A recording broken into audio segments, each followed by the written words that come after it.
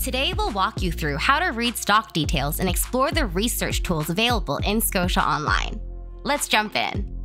The Home tab is your one stop shop to view all your Scotia accounts. To begin exploring, simply expand the iTrade menu item and select your action. We'll start by diving into research. Start typing a company name or symbol.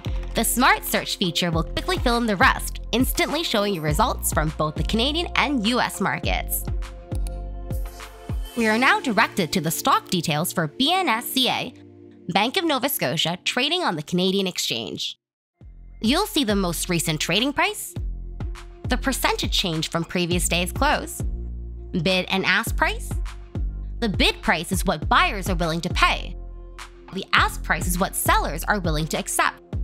Think of it as a negotiation between buyers and sellers.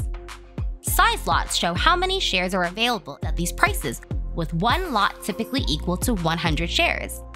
Volume reflects how many shares have been traded so far for the current trade date.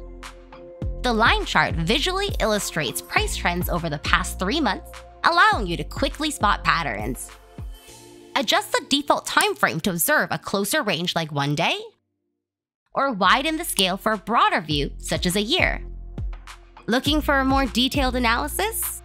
Below you'll find key market information like the 52-week price range, market capitalization, dividend details.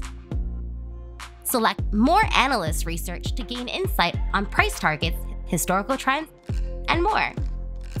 Keep your finger on the pulse of the market activity with the related news section, where you'll find the latest updates and insights. Learn more about the company's objective and structure to keep exploring.